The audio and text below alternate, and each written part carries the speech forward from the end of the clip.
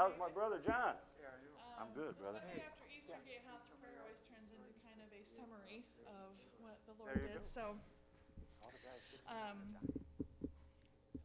Mike sent an email this morning um, to change a song in the lineup to look what the Lord has done, and I keep hearing that over and over again. And so I'm not sure where that's going to fit in this morning, but the Lord wants us to say, "Look what the Lord has done" somewhere in here. So we'll both find out together where it's going to go. um, so Friday, the theme was in the garden, right? The Lord wanted us to have a garden experience. And as I was praying this morning, He wants us all to have a garden experience, but it's up to us which type of garden experience we have. And I was very quickly reminded of um, in the beginning and the garden experience that Adam and Eve had.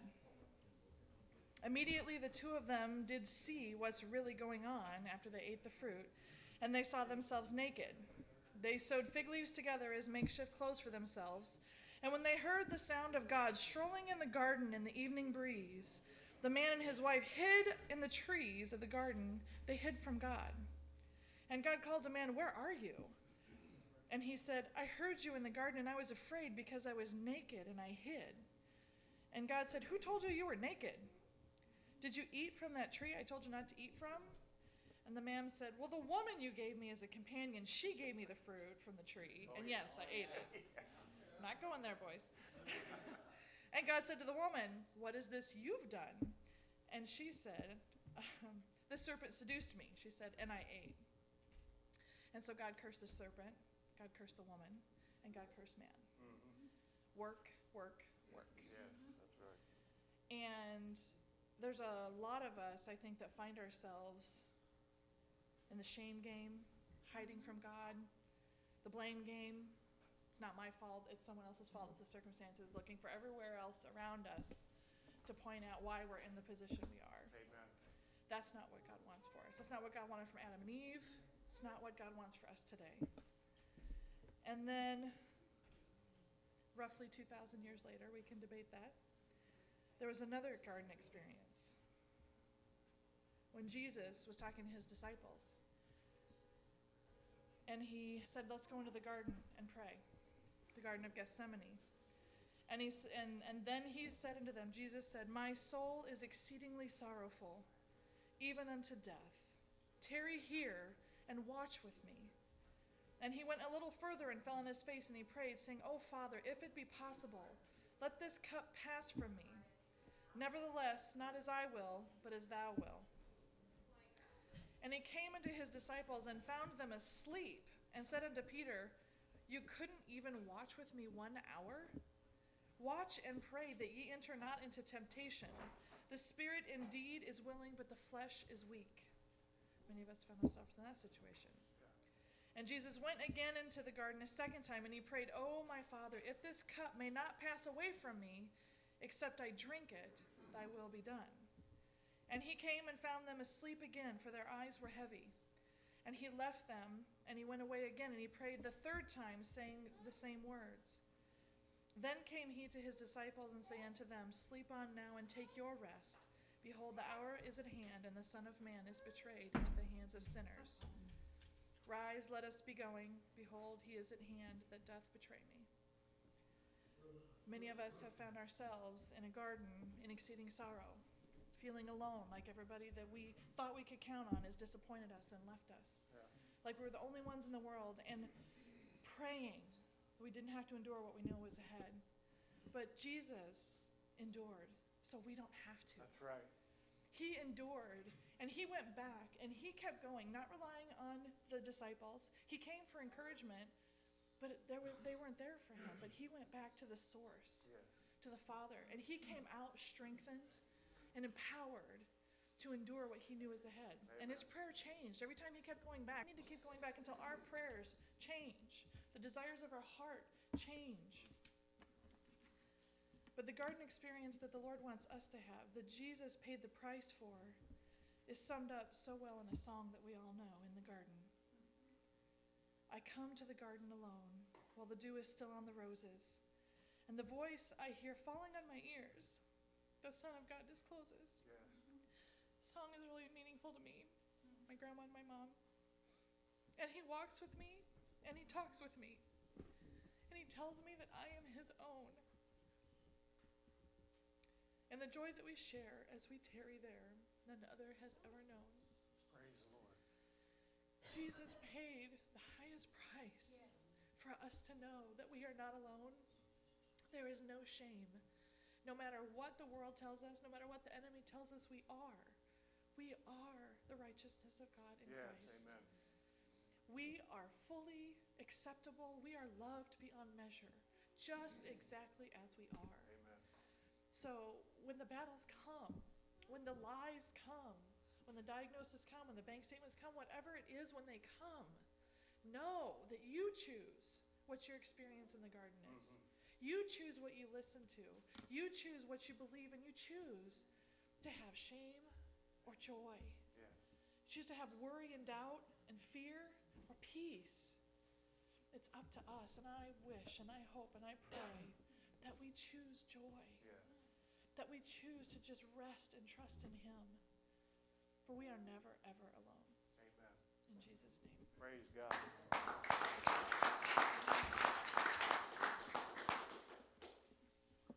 Those moments where it hits you, you know. My grandma and I used to sing that song all the time. And I don't think I really even understood it. Mhm. And now that I do, I can't share it with her. Praise the Lord. but then the Lord says, Look what I have done.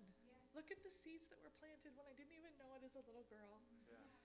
You know, the milestones in our lives are there to encourage us and remind us how far we've come. And the Lord says, just look and see. Do we have eyes to see the good, the blessings, or do we choose to worry and focus on the doubt and the fear? There will always be something. Right. There will always be something somewhere in our lives trying to distract us, trying to take our joy. Anyone have any uh, prayer requests or testimonies they'd like to share this morning?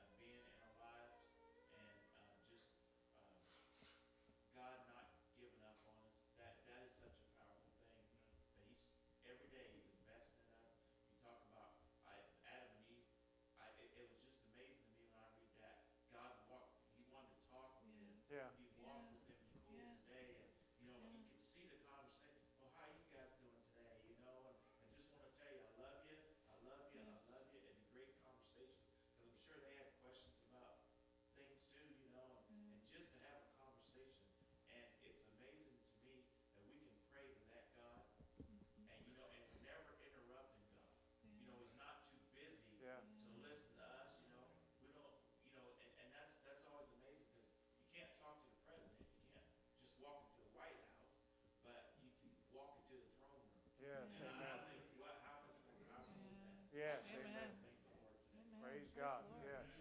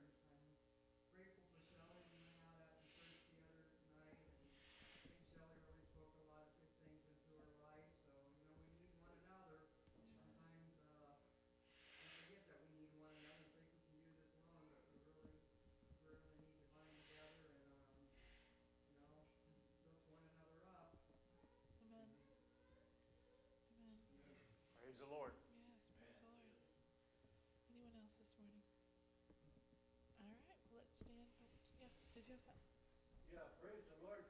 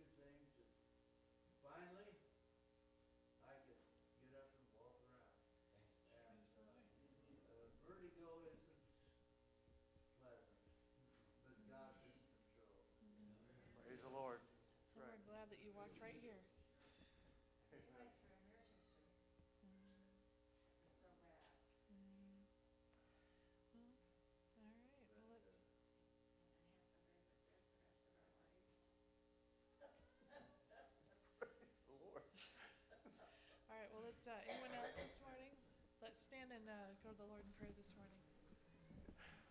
Heavenly Father, we just Praise come before God. you this morning, Lord. Thank you, Jesus. Father, we thank you for the finished work of the cross. We celebrate the victory in every one of these situations and circumstances. We declare that it is finished, Lord. By your stripes we were healed. You've delivered us, Lord.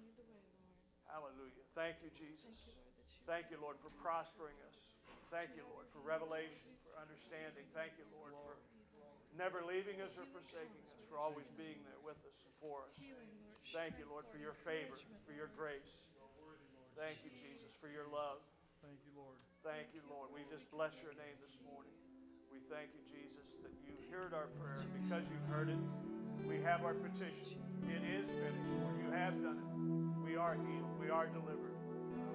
In the name of Jesus. Thank you,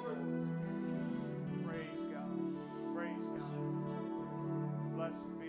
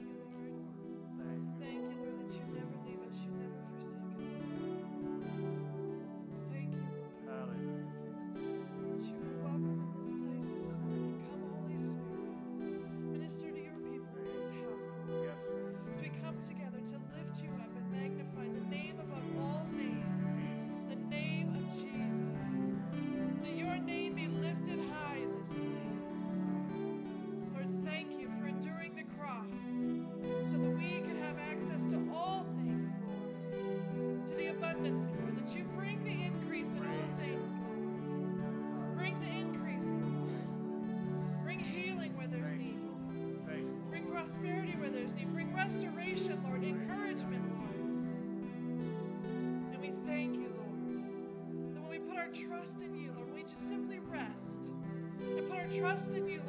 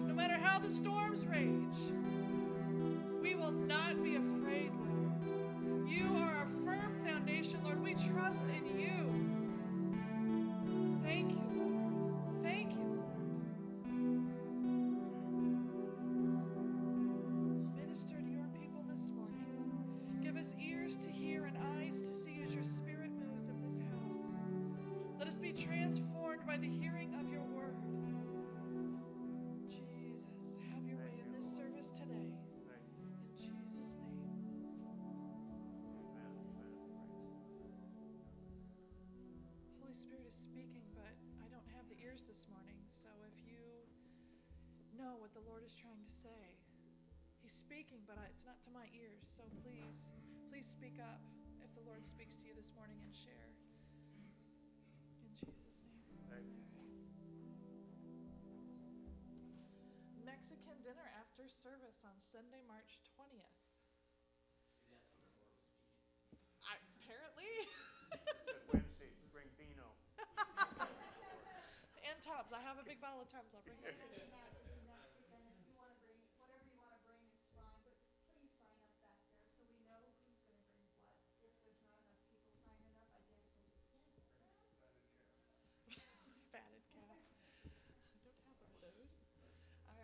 Speak the word this morning.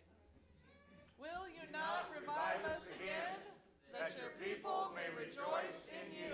Praise God. I am a believer, and these signs do follow me. In the name of Jesus, I cast out demons. I speak in new tongues. I lay hands on the sick and they do recover.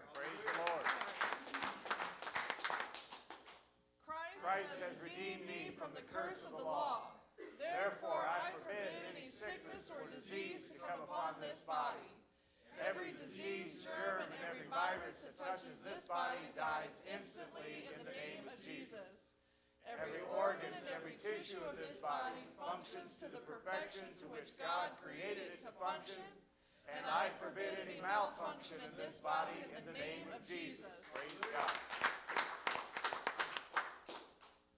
I receive the spirit of wisdom and revelation and the knowledge of Him, the eyes of my understanding being enlightened, and I'm not conformed to this world, but I am transformed by the renewing of my mind.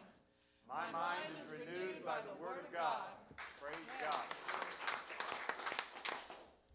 The The Lord rebukes the devourer for my sake, and no weapon that is formed against my finances will prosper.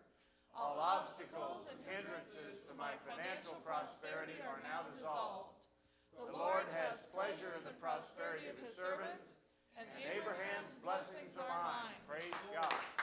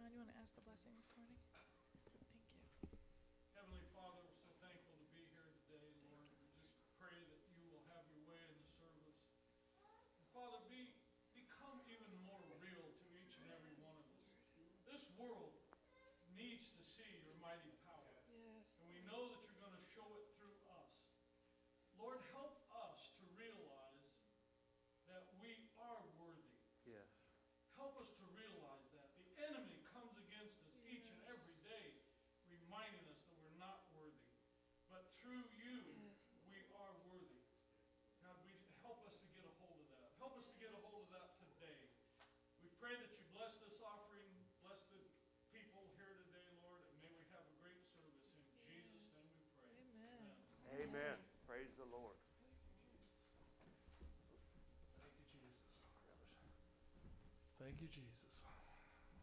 Hallelujah. It's time to praise and worship the Lord. See if we can wake the neighborhood up.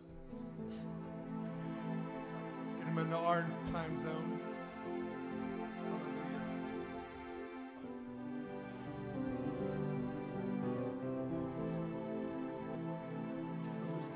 Cause every knee will bow, every tongue confess.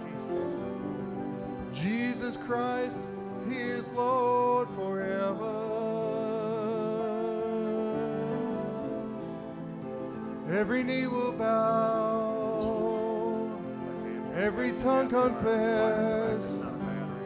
Jesus Christ, He is Lord forever.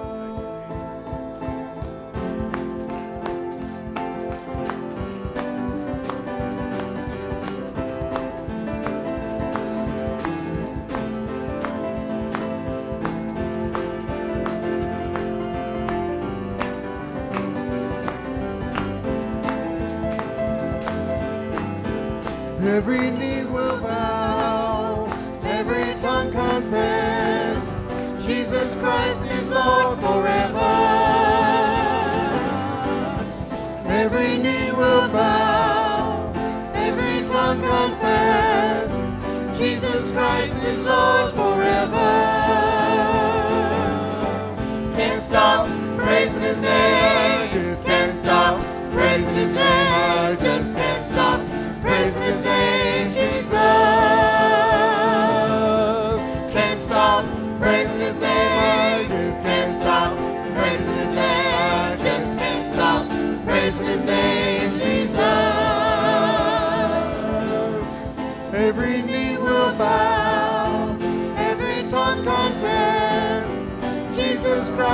Lord forever.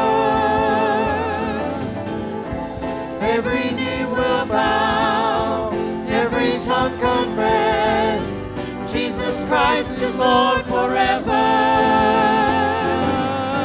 Can't stop praising His name, can't stop praising His name, I just can't stop praising His name, Jesus. Can't stop praising His name,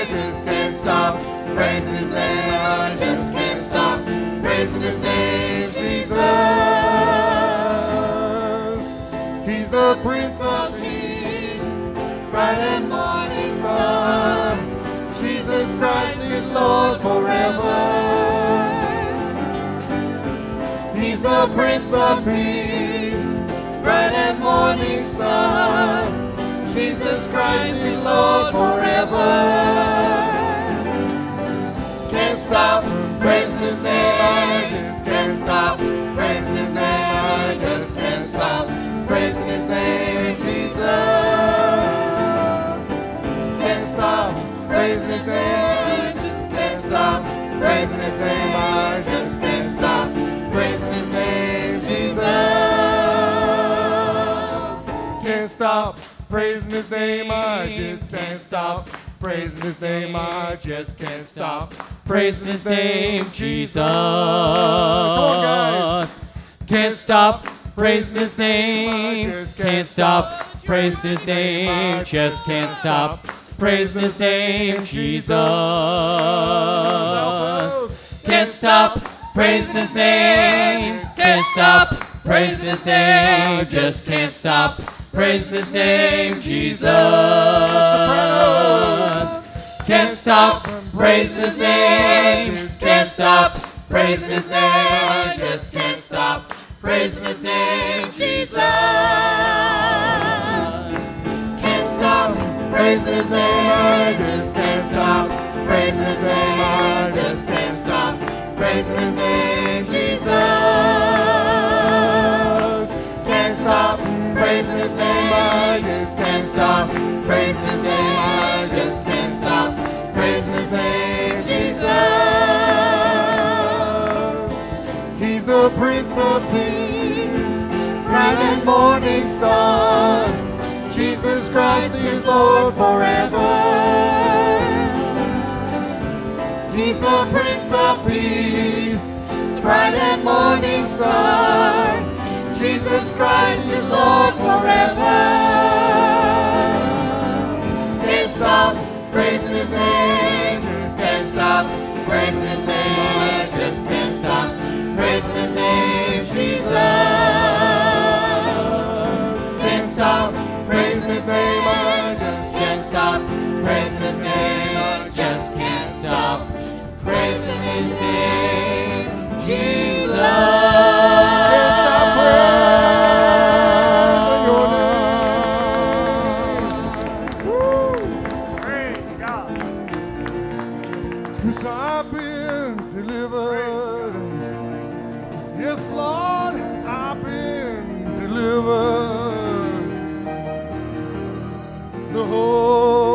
Devil thought he had a hold of me. No, he don't. He ain't got no more. I've been delivered. Hallelujah. Woo! I've been delivered. I've been delivered by the hand of the Lord. Help me out now.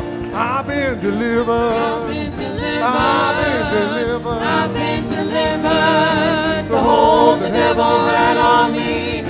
He ain't got no more. Delivered. I've been delivered. delivered. I've been delivered. Delivered by the hand of the Lord. I've been delivered. I've been delivered. I've been delivered. The hold the devil had on me. No. He ain't got no I've more. been delivered. I've been delivered. I've been delivered. I've been delivered, delivered by the hand of the Lord. Jesus touched the blind man and made him see. He cast the demon out of the man from Galilee. He cleansed the leper too. He made the blind brand new.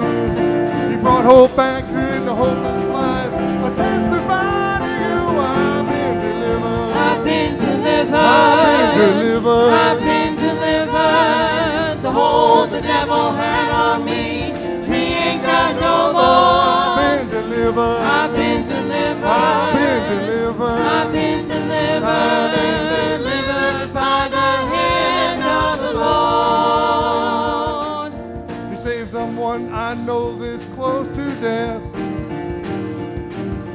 Gave a boy with asthma back his breath. But the greatest miracle to see was the sin he set you free.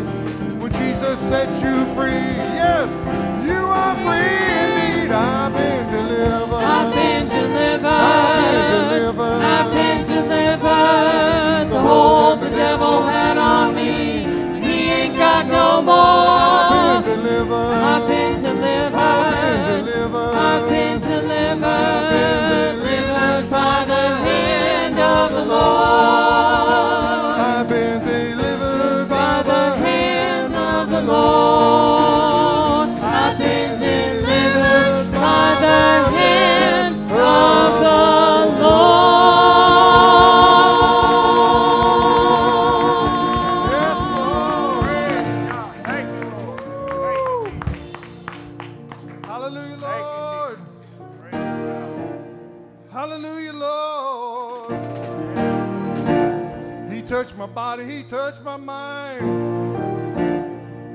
been saved. One more time, hallelujah. Thank you, Jesus. Yes. Last last Tuesday, trying to put that motor back in that little Jeep out there. You know what? Supposed to have been done by Tuesday. Well, 10:30, go to turn the key.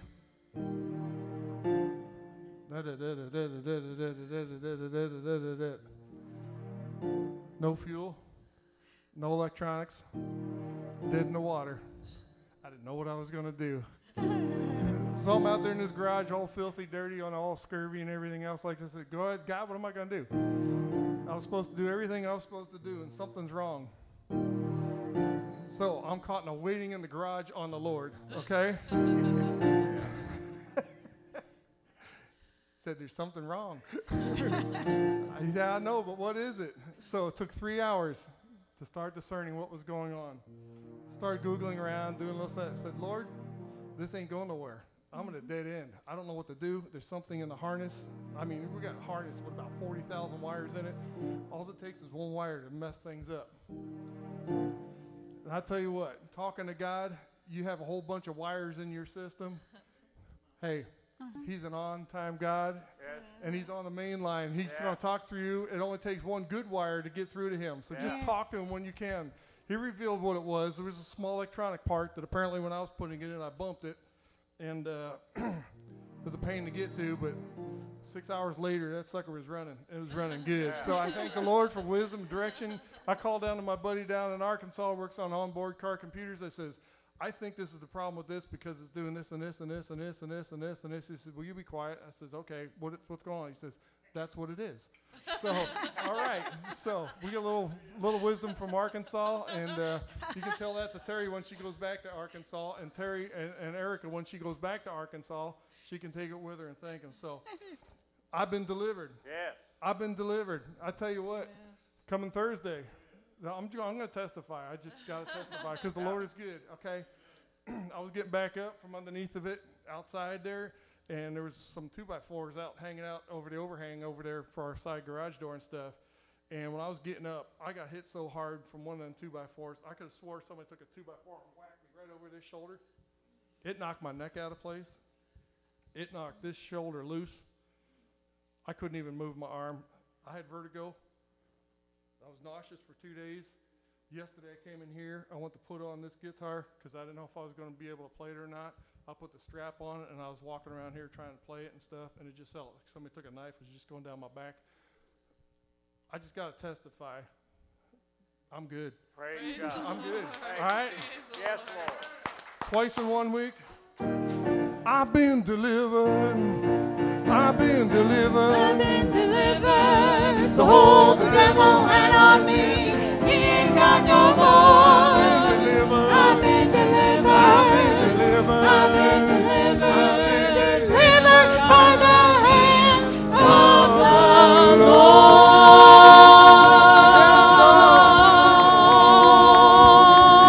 Lord.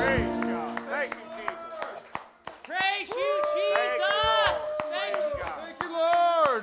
Thank you. Thank you, for- Lord. Praise God. Thank you, Jesus. He's opened the door.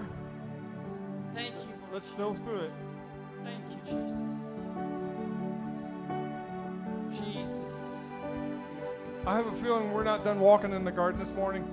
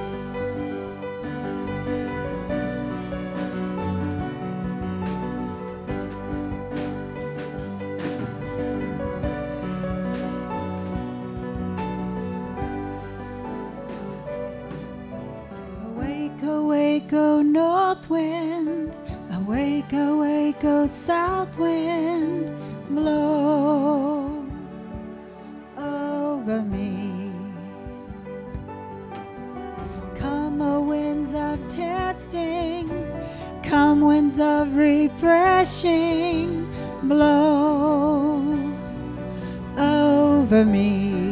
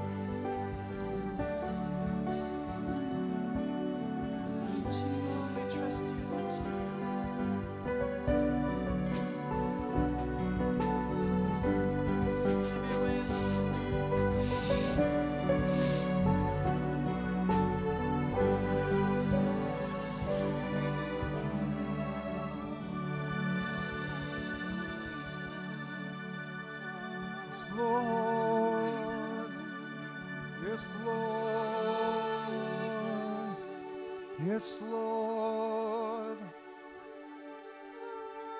There is no one like you, Lord. There is no one like you, Lord. Oh, lift your voice and worship Him, church. Lift your voice, make a joyful noise unto the Lord.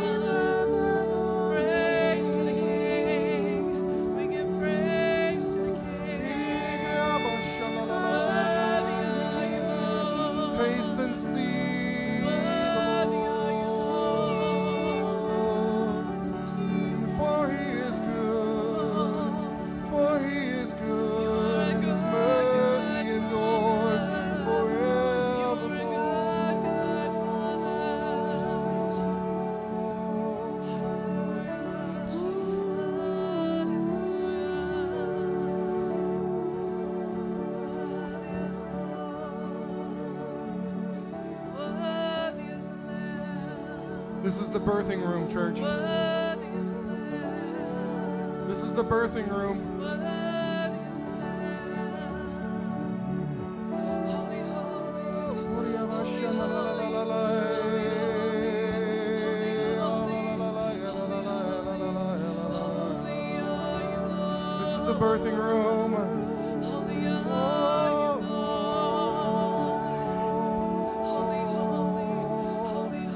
Doesn't do cesareans, church. The Lord doesn't do cesareans. Religion does cesareans. The Lord bursts. The Lord bursts.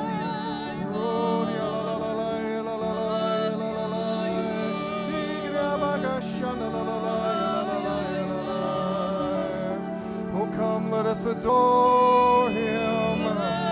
Oh, come, let us adore him.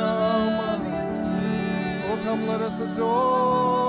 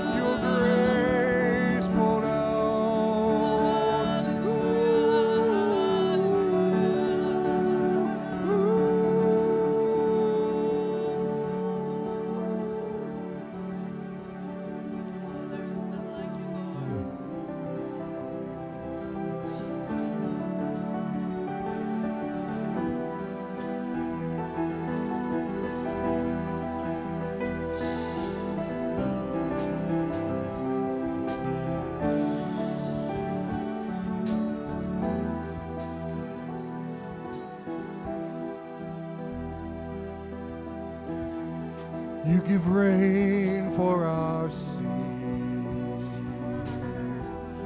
that is now in the ground, and the bread will increase, enlarging our path. This is for you, abundant life. Every mountain and high. at your presence, O Lord. Streams and rivers will flow in the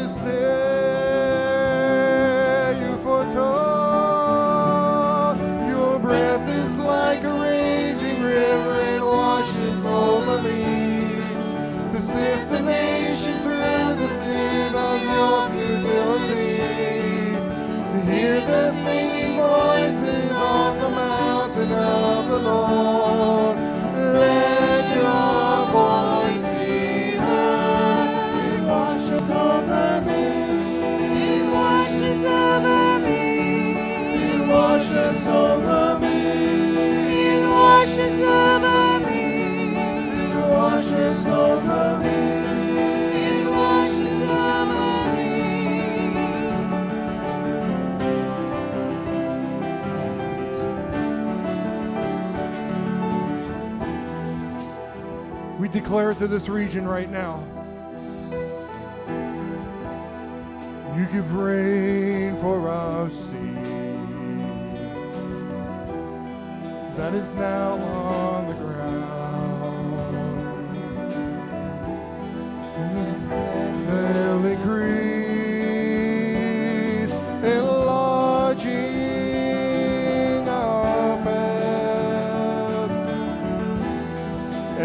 mountain and high hill. At your presence, O oh Lord, streams and rivers.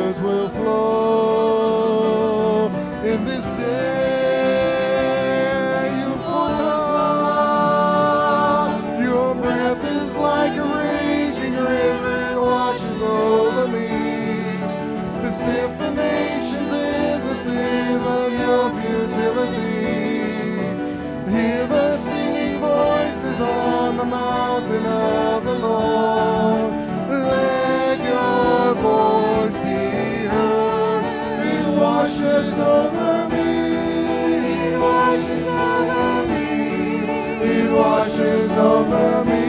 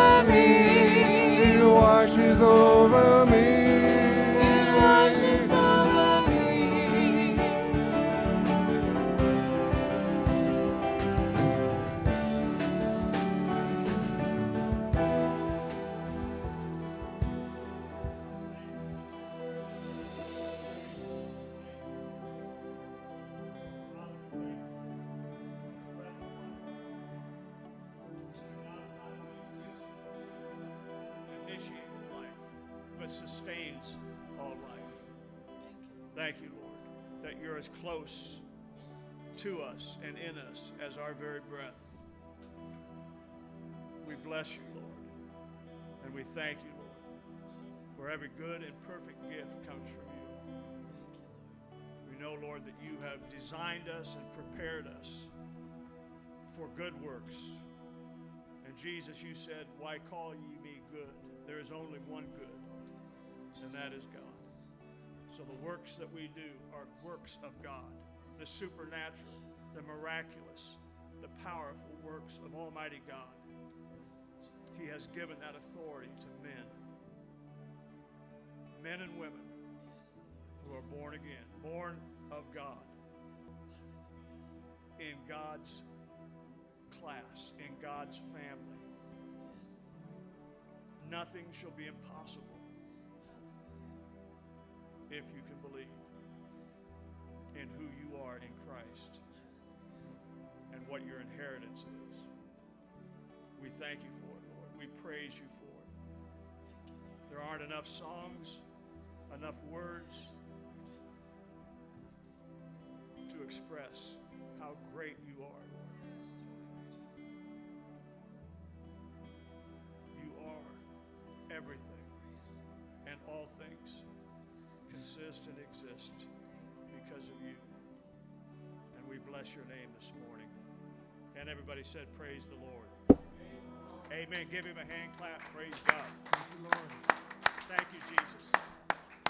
Thank Amen. Amen. God bless you. You may be seated. Sunday school kids can be dismissed. Thank you, Suzanne. Lapel mic. Thank you, worship team. As always, great job, by everybody. I want to thank all of you for sharing your testimonies and you know the scripture is not lying when it says we are made to be overcomers by the word of our testimony and by the blood of the lamb.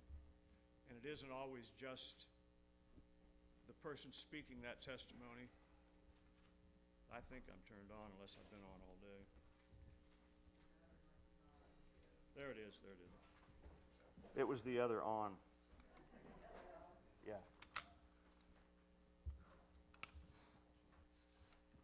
But uh,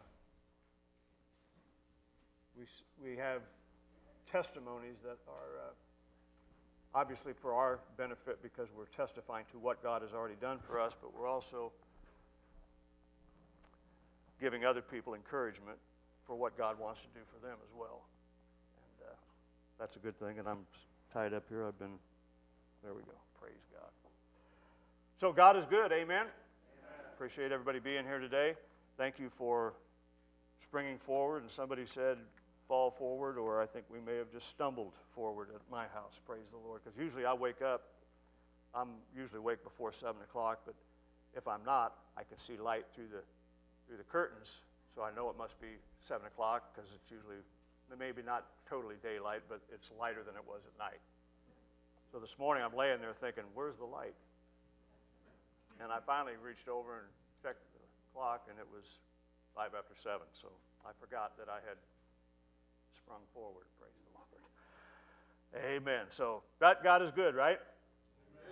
Amen. Amen. Let's go right to the Word of God this morning. I appreciate uh, everything that was said this morning because, as always, God confirms His Word. Out of the mouth of two or three people, a matter is established. And uh, so I appreciate everything that from Suzanne throughout the congregation that was shared this morning because it does validate what, what the Holy Spirit's been speaking to me. Praise God. So let's go to Isaiah chapter 42 and verse 6.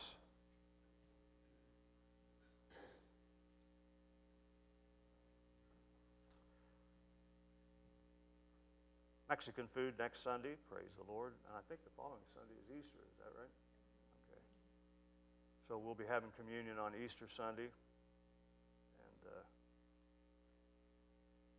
we won't be having margaritas this Sunday, although that was brought up last Wednesday by someone who will remain nameless and who's also not here, by the way. And if you're having margaritas, you have to bring your own. Praise God. Take the millstones and grind the meal, and that's not what I want. Praise the Lord. I want Isaiah 42 and verse 6, please.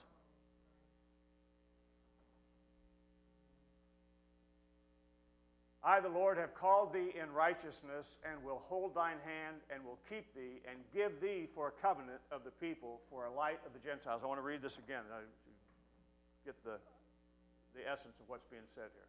I, the Lord, have called thee in righteousness. This is Isaiah. He's speaking prophetically about Jesus, about the manifestation of God. So here he says, I, the Lord, have called thee in righteousness, and will hold thine hand, and will keep thee, and give thee for a covenant of the people for a light of the Gentiles. All right? All right, now let's go to Malachi chapter 3 and verse 1.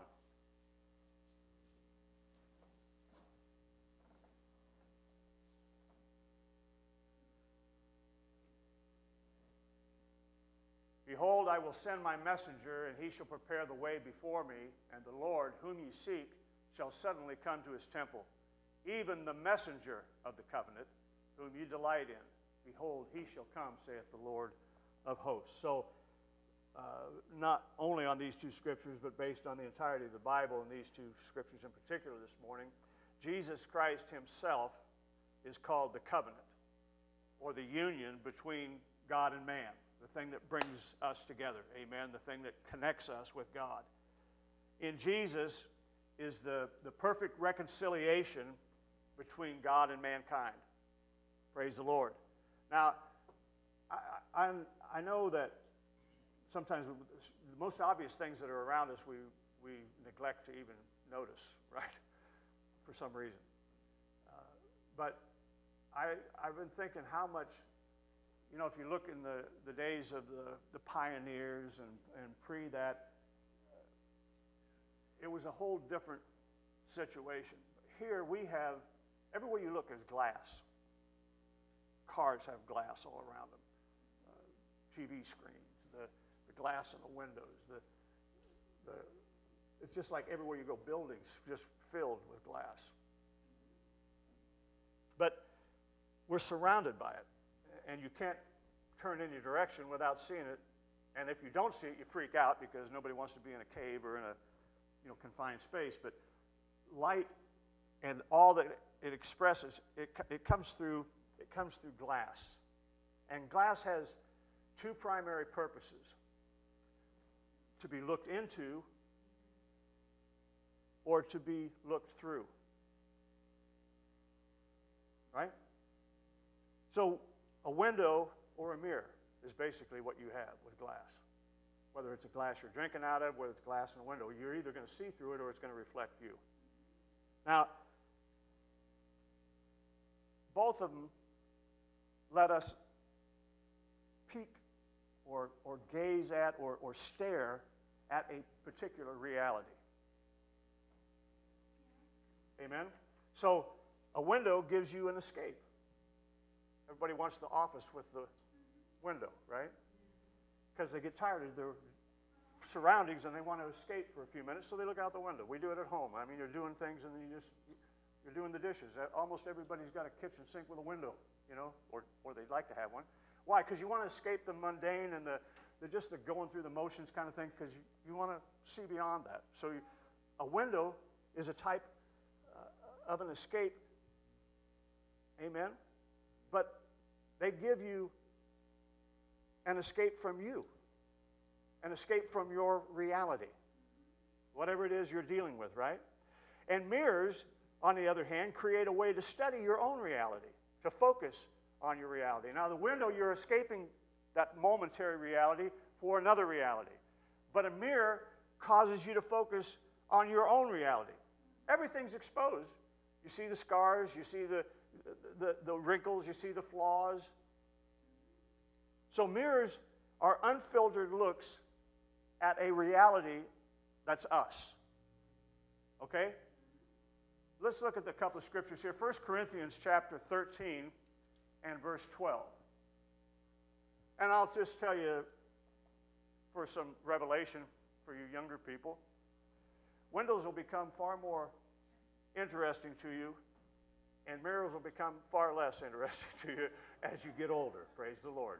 So just keep that in mind, and down the road you can say, Nathan told me that. Praise the Lord. For now we see through a glass darkly but then face to face. Now I know in part, but then shall I know even as also I am known. That's a mirror. All right? Now let's look at this in 2 Corinthians chapter 3 and verse 18. But we all, with open face, beholding as in a glass the glory of the Lord, are changed into the same image from glory to glory, even as by the Spirit of the Lord. That's a window. So we got a glass mirror, and then we've got the glass window. And the scriptures we just read previously were that ex- explaining to us and revealing to us that Jesus is covenant. Amen? This new covenant is all about faith, it's all by faith.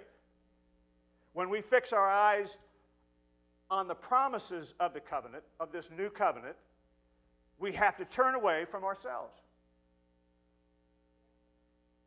Are you with me? Praise the Lord. When we turn away from ourselves, the mirror, right?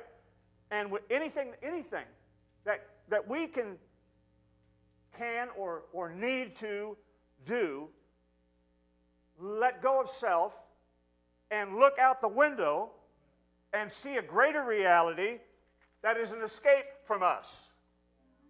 Praise the Lord. I hope I'm not confusing you with all the verbiage here, but this is about either seeing Jesus or seeing us. It's either looking out the window at that reality or it's continually to focus on this reality. Amen. Jesus and every new covenant promise is already ours. It is finished according to the Word of God. He finished it. We have an inheritance, and it is Jesus Himself and everything that Jesus is healing, deliverance, prosperity, breakthrough, revelation, whatever it might be. Amen. It's already ours, and because we are God's, we have to claim God's promises. Amen. We have to look out the window, amen, at God's reality and appropriate and experience what we haven't used because we've been focused on us. Praise the Lord. Jesus is who makes it true between you and God. And He does it so you can experience this reality of power. Praise God. We're changing. You look in the mirror. I look in the mirror now and I say, Who is that? Amen.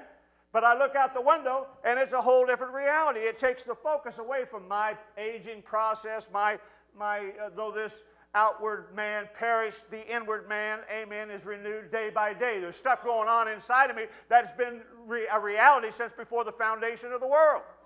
But if I'm focused on this reality, I never see that reality. I never get beyond the mirror to the window. Praise God. Hallelujah. Lay hands on the sick and they will recover. You're not going to get that in the mirror. You got to look out the window to see that by his stripes you were healed. You got to look out the window to know that he became poor that you might become rich. You got to look out the window to say that he was bound for us so that we could be delivered. Amen. That he became sin that we might become the righteousness of God in Christ. You'll never find that in the mirror. You only find it by looking out the window at Jesus, at the reality of God and not the reality of humanity. We look to Jesus, the author and finisher of our faith, not in the mirror at feelings or past experiences, but in light of the faith of God's covenant, Jesus Himself. Amen? And if we do that, just as the scripture proclaims, we begin to think and we begin to speak and we begin to act as Jesus. Praise the Lord. Philippians chapter 1 and verse 6.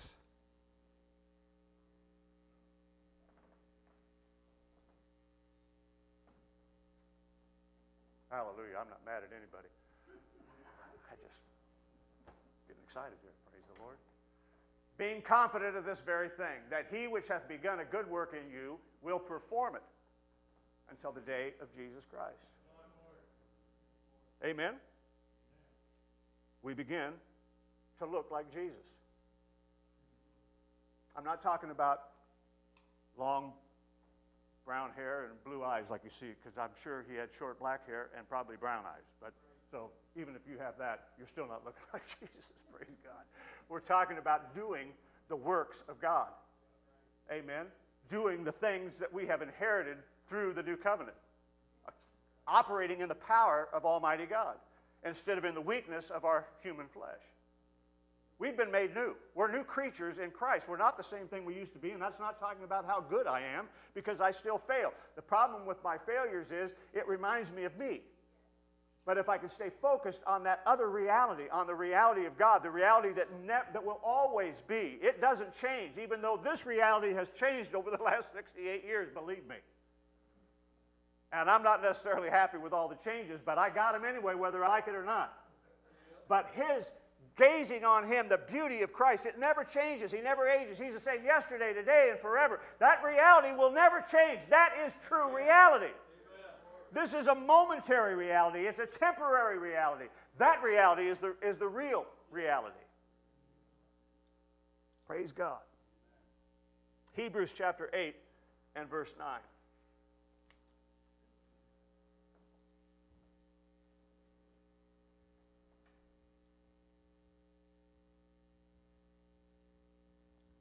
Not according to the covenant that I made with their fathers. Remember, Jesus is this covenant. We're talking about the new covenant. Now, Paul, or whoever the writer of Hebrews is, I believe it's Paul, but uh, he's referring to the first covenant, the old covenant. And he says, Not according to the covenant that I made with their fathers in the day when I took them by the hand and led them out of the land of Egypt, because they continued not in my covenant, and I regarded them not, saith the Lord. Why? Because they didn't keep it. They were commanded to do, do, do, do, and they couldn't. They didn't. So God didn't regard them.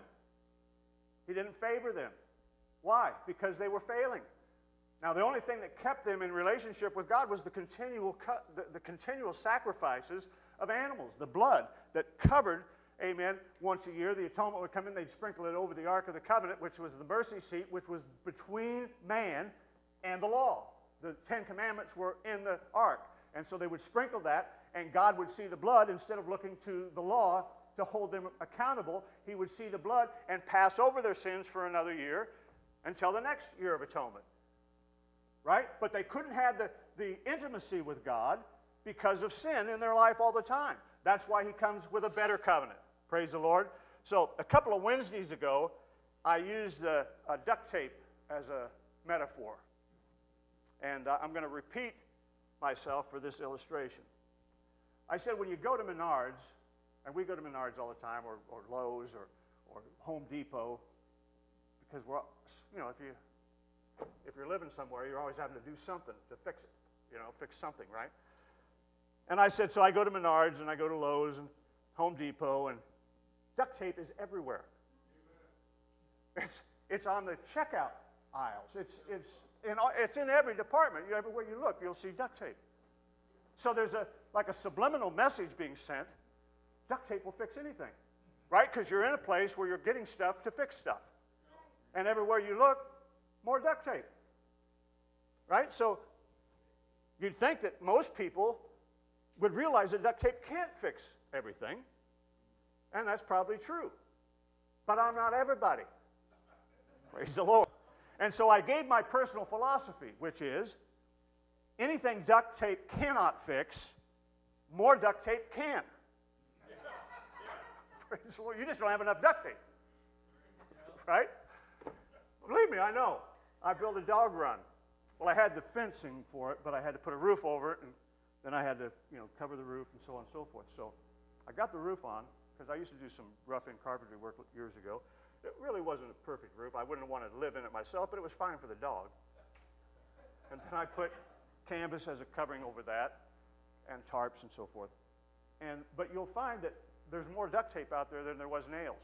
Now, it's since been taken down, and I gave it away to my daughter and uh, the, the run itself. But nevertheless, you'd have found way more duct tape than any other building material out there because it always works. It, will go into places that you can't get to with a hammer or a screwdriver or, you know, whatever. And it works really good, praise the Lord. So, the Old Covenant, this Hebrews 8 and 9 that we just read, that that old covenant mentality and that, by definition, then, of religion is a lot like my philosophy on duct tape. the fault with the old covenant is it's always about us. It's always about duct tape. It's about God's favor being dependent on our fixing ourselves instead of depending on our Creator making us brand new. The Old Covenant was meant to teach the lesson of the absolute indispensable necessity of obedience in order to get favor from God. That's what the whole Old Covenant was about. Without obedience, no favor. And sadly, many churches today have become mirrors and not windows. And more like Menards with duct tape, patching up every problem instead of a temple where God can make people brand new. We're passing out duct tape instead of giving them the truth about who they are in Christ. We're saying, here, fix yourself and then come back. Take another good long look in the mirror and see how messed up you are. Fix that up with some duct tape and then come back and we'll, we'll talk to you. When what we ought to be doing is just throwing the windows open and saying, look out here at this reality that you have nothing to do with except you just get to experience. You have been created a new creature in Christ. You don't need duct tape. You just need another vision. You need to be looking at something other than you in order to inherit and to operate and to experience everything that God has promised you as a new creature in Christ. Praise the Lord.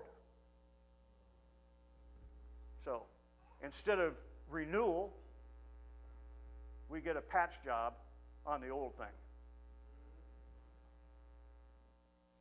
We get a Rube Goldberg kind of looking mess that we call a spiritual experience. When in fact, it's more like the walking dead. We're supposed to be alive in Christ. Romans chapter 5 and verse 19.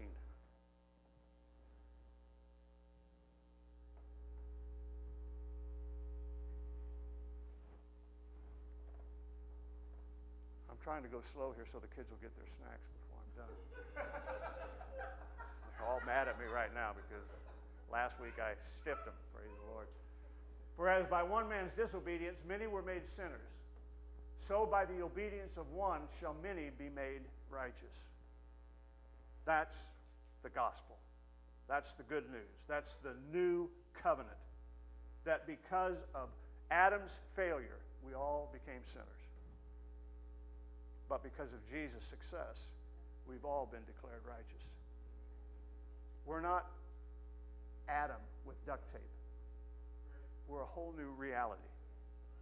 We are Jesus' body in this earth. We are God's delight. Jesus declared himself that as God loved him, he now loves us. Think about the depth of that statement. God loves you right this minute as a believer just the same as he loved Jesus on earth. Perfect love. And that's why he says perfect love casts out fear. You don't have to be fearful if you know God's love is for you. No matter what you're facing, no matter what the mirror might say, there's a greater reality if you just turn and look to Jesus. And quit looking to yourself for the answers. Quit looking to yourself for the fix. And look to Jesus, who makes all things new. Even though we're still seeing something else. We got to quit focusing on the mirror and start focusing on the window. Quit dealing with this reality and look to that reality which never changes. This reality will ebb and flow. You'll have good days, you'll have bad days. You'll have good years, you'll have bad years. You may have some decades. They're all screwed up. But you have an eternity in Christ that is perfect and will never change. And it's not just the future, it's your past, it's your present, it's all of it. It's eternity.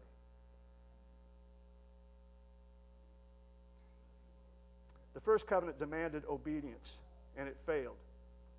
And it failed because it couldn't produce it. it could only demand it. The new covenant was purposely and expressly made to provide for obedience. Because God knows us. He knows we are frail, we are weak, we are human, and we do screw up. It's this indispensable necessity of obedience that explains why we don't enter into the full power and the glory of the new covenant. Because there's still a demand for perfect obedience. The problem is, it has been met, but we don't acknowledge it. We're looking into mirrors, not out the window. We're using duct tape instead of making brand new. The new covenant depends on surrender. Surrender to the finished work of Christ.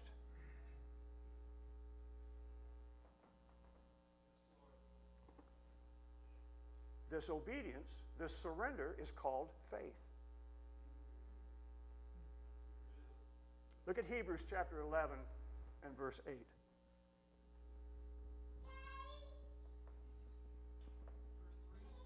Hebrews 11, verse 8.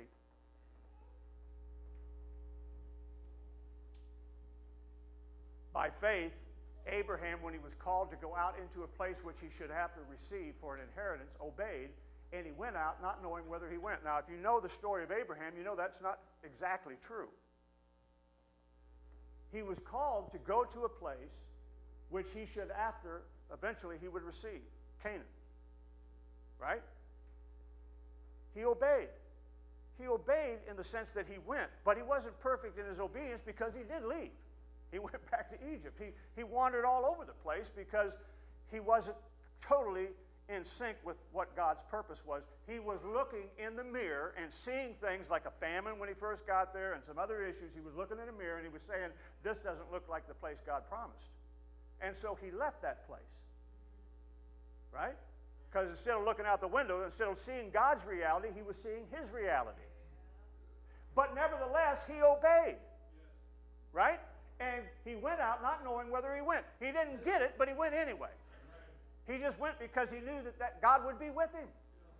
And God called that obedience. And, and if you go back in, in Hebrews 11, he's ranked right up there with the greatest of the believers because God doesn't have any record of his failure. He only has the record of what Abraham did through the window and not what Abraham did in the mirror. And when you find your record of heaven for you, you'll find the same thing. There's a great cloud of witnesses. Amen? And they're looking down there and they're saying, just hang in there. Just hang in there. There's a reality that you're not looking at. But we can see it because we're on the other side of the window. We are already there.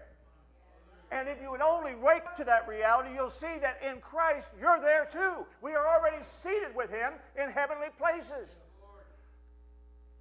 Praise the Lord. By faith, Abraham obeyed. By faith, the promises of the covenant are realized. Not by perfect obedience, but by faith in the obedience of Christ.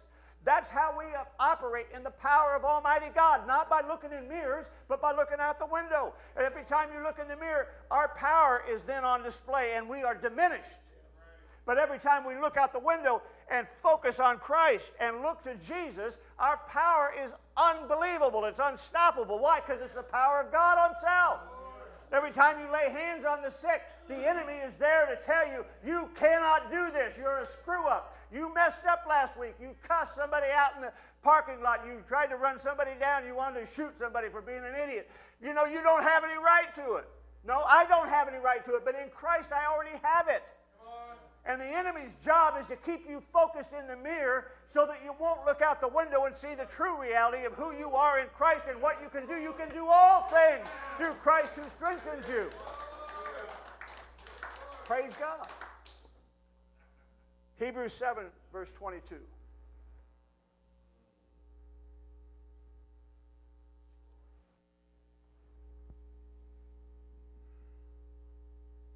By so much was Jesus made a surety of a better covenant or a better testament. In other words, Jesus is our guarantee that the new covenant is ours, that it works, that we have every promise, we have the reality of every promise that God has given under this new covenant. You shall lay hands on the sick and they will recover. You will cast out demons. You will speak in others. You will, amen, have the mind of Christ and operate with that kind of wisdom. Nothing shall be withheld. Nothing will be impossible. Jesus makes the promise a reality. And he makes that reality a continuous experience. For us, it's hit or miss. Why? Because we're, amen, we're, we're rubbernecking. We're, we're looking out the window and we're looking in the mirror. We're looking out and we're looking in. We're looking out. We're looking in. We're looking out. We're looking in. Where there's no consistency in us. So every once in a while, we get a, a moment where we focus on Christ and bang, somebody gets healed. Bam, somebody gets delivered. Somebody gets raised from the dead. Something miraculous happens. Why? Because we're focused on Jesus and not on us. The devil's job is not to get you into hell. You're already past that. His job is to keep heaven from invading here. Amen. And the way he does that is to keep us focused on us instead of on Jesus. You'll never do this. You'll never do that. You can't. Look, you only got so much time left. If you were going to do it, surely it would have happened before now. You know, we know what the st- uh, statistics are for aging and so on and so forth. You've got X number of years left. Man, if you were going to do it by now, something would have happened. And you really think about yourself and you think, but I haven't really changed all that much. I mean, I'm still kind of, you know, I know maybe some more, but I don't know that I'm seeing anything more. God can do more through us in five minutes than we can do in ourselves in a lifetime. His promises are not slack concerning us. Whatever He said He will do if we can just get focused on Him instead of on us. Praise God. Mark chapter 5, verse 36. I mean, I plan on doing something before I'm out of here. Praise the Lord. And I know the only way I'm going to do anything is in Christ. At some point, I'm going to have to turn the mirror to the wall and start focusing on the windows. As soon as Jesus heard the word that was spoken, he saith unto the ruler of the synagogue, Be not afraid, just believe. Don't be afraid, just believe. Don't look in the mirror, look out the window. Mark chapter 9, verse 23.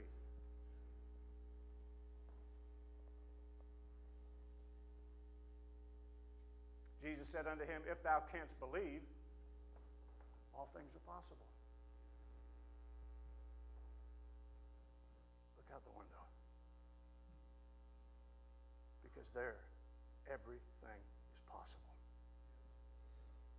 That is the reality that we have in Christ. But we have to stay focused on it. Ephesians chapter 2 and verse 10.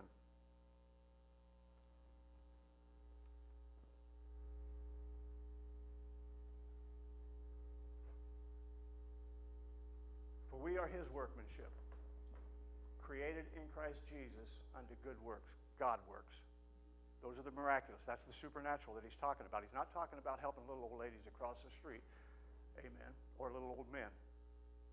Somebody tries to help me across the street, they're going to get bee slapped. Unless I'm laying in the street, praise God. I'm just saying, this is about the power of God operating in our lives and manifesting in our lives. Amen. Which God before ordained that we should walk in them. Praise God. So, why do so many believers see so little of God's power in their lives? Look at Luke chapter 24, verses 15 and 16. It's a perfect example of people that are even close to Jesus, people that knew Jesus, people that were around Jesus. It's a lot like us. Luke 24, verses 15 and 16, he says, And it came to pass that while they communed together, while they communicated with each other and reasoned, boy, there's a good way to get yourself in trouble in the supernatural. Start talking to other people and start using your reason instead of the Word of God. So they communicated with each other and they reasoned, and Jesus himself comes right up to them. And he went with them. But their eyes were holding that they should not know him. Why? Because instead of looking out the window, they're looking at them. They're reasoning and they're communicating in their natural way and they're focused on the mirror. And here is Jesus himself, the covenant, the answer. All of their problems standing right there with them, but they're so busy focused on them, they can't even see that he's there. Looking in mirrors instead of windows. We duct tape problems and call that religion instead of making them brand new, which is what the Spirit wants to do. Amen. We just slap a roll of duct tape on somebody and say, oh, you're good to go now. Without them ever learning how to experience the new life, the new power, the new reality of who they are in Christ because we'll do the same thing they do. We'll look at them. That's why Paul said, I've decided that when I look, I'm going to see nothing but Christ and Him crucified. When I look at you, I don't, I don't listen to, you know, I got this problem, I got that problem, I got this problem. I'm seeing Jesus, I'm seeing you victorious. That's the way we, I, I can't look at me and say that's the way I'm going to be and then look at you in another way.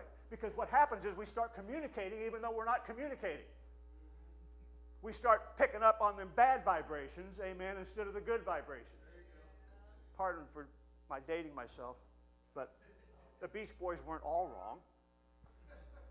Just Brian, praise I'm just kidding. No, I'm just saying that it's what we do. We're communicating all the time, whether we understand it or not. So let's communicate Christ. Let's see Christ and not our failures, not our weaknesses, amongst ourselves as well as individually for ourselves. Because if I'm always finding your problem, believe me, my conscience is not going to let me get away with that. And neither will the devil. Because he will remind me quickly after I've judged you. How about that beam in your eye, buddy? How about that attitude you had? How about this thing you did? And I const- it'll constantly overwhelm you, amen, with you. But if I can see Christ and Him crucified, when I look at you, then I can say the same thing about myself. I am a new creature. I'm not what the mirror says. I'm what the window says. A new, whole new reality. A supernatural reality. Praise God. Second Kings, chapter 6, verses 14 through 17. This will be my last scripture. 2 Kings 6, 14 through 17. There's a familiar portion of Scripture that most of you have probably seen or heard and even talked about, and we preach about it and everything else. But therefore sent he thither horses and chariots and a great host. They came by night and they compassed the city about. And when the servant of the man of God was risen early and gone forth, behold, a host compassed the city, both with horses and chariots. And his servant said unto him, Oh, buddy, Oh, alas, Master, what are we going to do now? They were surrounded by the enemy. What do we do? And the man of God said, Fear not, for they that be with us are more than they that be with him. And Elijah prayed and said, Lord, I pray thee, open his eyes yes. that he may see. And the Lord opened the eyes of the young man, and he saw, and behold, the mountain was full of horses and chariots of fire round about Elijah. He looked in the mirror and said, Oh my God, what are we going to do? And Elijah said, Open the window. Turn from the mirror to the window, and paradise is restored, and heaven is opened. It's a new covenant. It's Jesus. Now I'm going to wrap up with this. You know, a lot of people suffer from fear of oceans. My wife does. We, we used to live in Texas. We lived down in the Gulf. And uh, our daughter, at that time, our youngest daughter was only two, just enough that she was walking and running. And uh, I've always loved water. I've always loved the ocean and lived around it a good part of my life. So I'm, I just jump in, you know. As long as I don't see any fins, I'm in it. And I just, I love it. You know, I love the vastness of it. I love the, the seemingly in, endlessness of it, you know. Not so much with Sally. She'll go along the beach, but she don't want in there. First of all, she doesn't swim a lot. But second of all, she just has this kind of anxiety about that.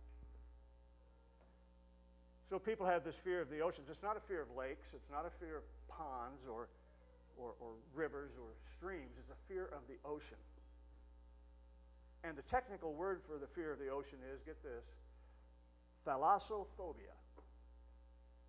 That's the technical term for being afraid of oceans. The new covenant, Jesus, is inviting us not into a pond with a raft, not into a gently flowing little stream, not into something that we can control. He's inviting us into danger. He's inviting us into unpredictability. He's inviting us into dependence. And it's to look out the window. He's not inviting us to see what we can do. Not inviting us to see what we ourselves are capable of. He's inviting us to escape all of our limitations, all of our fears, all of our doubts. He's inviting us not to splash around in a little puddle. He's inviting us to dive into the deep, unknown expanse of the ocean, into Jesus, where anything and everything is possible. Give the Lord a hand clap this morning. Thank you, Jesus. Hallelujah. Nothing is impossible. I don't know how many times we can say that and still not get it. But as long as we're focused on us, everything is impossible. There's always limits. But with Him, takes the cap off, He takes the limit off. There's nothing that is impossible if you can focus on Him. I don't care what your age, I don't care what your IQ, I don't care what your gender, uh, your ethnicity. You're, we're all new creatures in Christ. We're all one in Him accepted in the beloved, and nothing is impossible for us. Amen?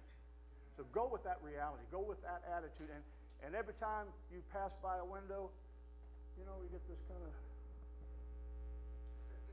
Don't make it a mirror. Look through it. And focus on what God has for you on the other side. Amen? God bless you. You're dismissed in Jesus' name. Have a great week.